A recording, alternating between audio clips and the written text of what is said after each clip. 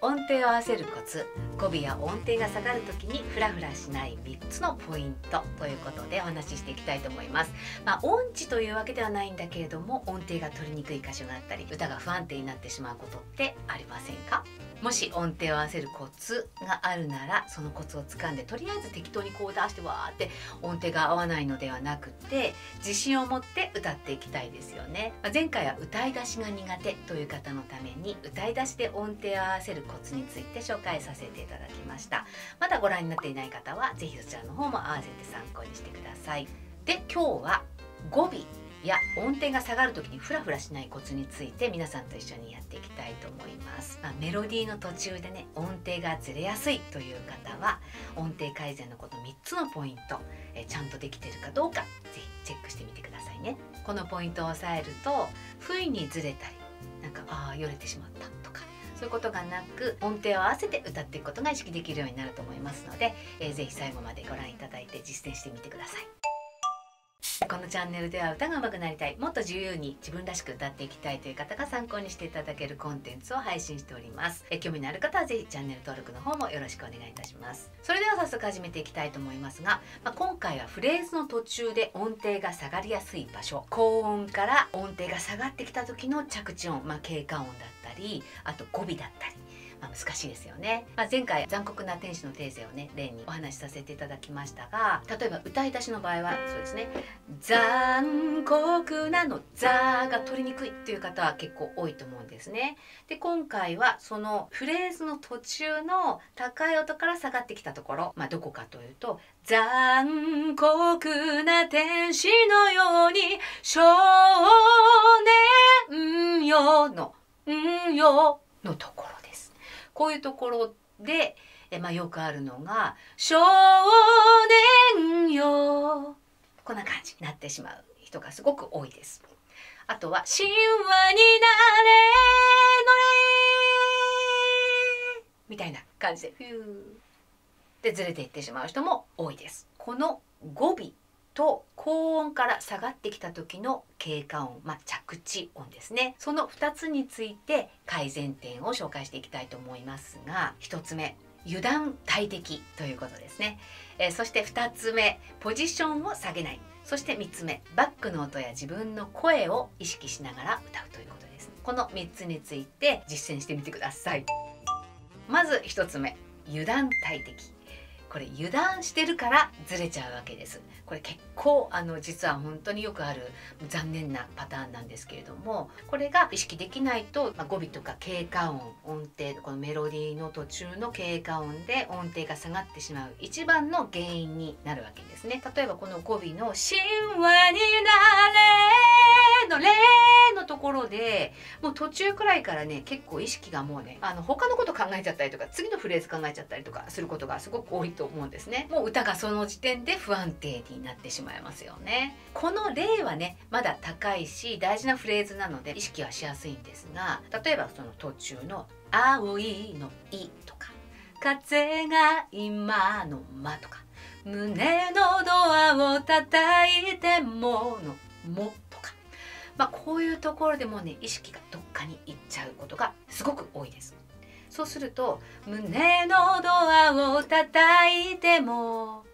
みたいな感じで終わってしまうことになってしまいますので是非最後まで油断しないでしっかり出してみてください。でね最後まで丁寧にしっかり出すとか言われるとなんか声を大きくとか長くとか強くとかしないといけないのかなというふうに思う方もいらっしゃるかもしれませんがそうではありません。胸のドアを叩いてもっていうことではないです。胸のドアを叩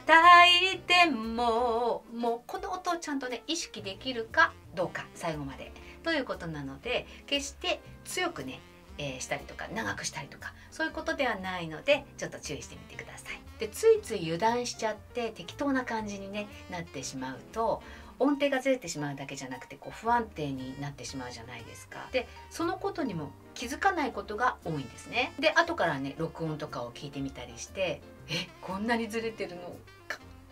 なんて思うことがよくあるかなというふうに思います。なぜかというと皆さんとにかく高い音に意識がいっていて少年にここなんとか出さなくっちゃみたいにここ高いから頑張れみたいな感じになってしまうとそこに「ね」に意識がいっちゃうじゃないですか。そうすると「うんよ」がなんか結構適当な感じになってしまってブレるということがよくあります。なのでちゃんと最後まで、ね、意識を持って歌っていくといいですね。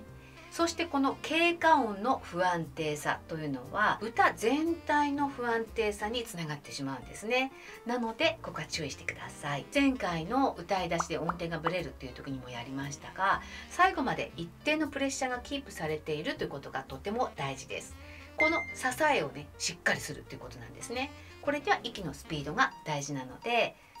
息のスピードって何？と思った方は気になった方は是非前回の動画もチェックしてみてください。そして2つ目声のポジションを下げないということですね。これは音程が下がると声のポジションも下がりやすくなってしまうんですね、まあ、特に低い音とか高い音から降りてきたすぐの、まあ、経過音ですね着地音。こういうところで音程が下がりやすくなってしまうし音程だけでなくポジションもね下がりやすくなってしまうんですね。なぜかというとイメージの中ではここは低いとかねあ低いからそんなになんかこう頑張らなくてもいいなとかあの先ほども言いましたけど高い音に意識がいっていてその次の音が意識できないとか、まあ、そういうことになってしまうのでどうしてもこのポジションも下がってしまいます。でこの意識を変えるだけで解決へと向かいますので是非このポイントを押さえてみましょう。でとにかく歌の上手い人の歌というのは細部にわたって意識できているんですがどうしてもそのサビの高い部分とか盛り上がってるところにこう気持ちをね持っていかれちゃうと思うんですね。意識がそこにあるとどうしてもその低い音だったりちょっとこう静かに歌うところだったりそういうところで、え、不安定になってしまいます。なので「少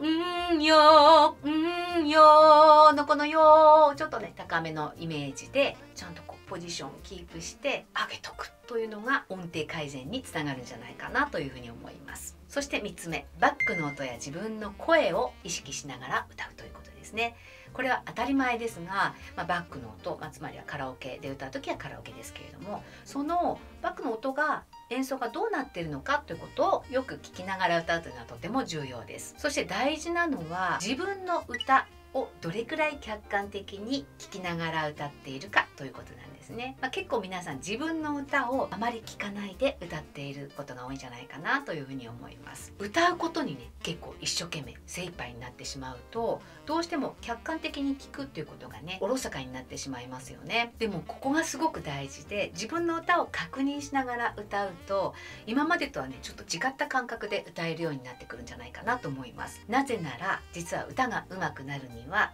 歌い方よりも聞き方をちゃんと身につけていくことが大事だからなんですね。この聞き方についてはシリーズで5本も動画を出しておりますので ぜひそちらの方もよかったらチェックしてみてください。ワンランク上のボーカリストを目指したい方そして聴く人に届くような歌が歌いたいという方はそちらの方もよかったらぜひチェックしてみてください。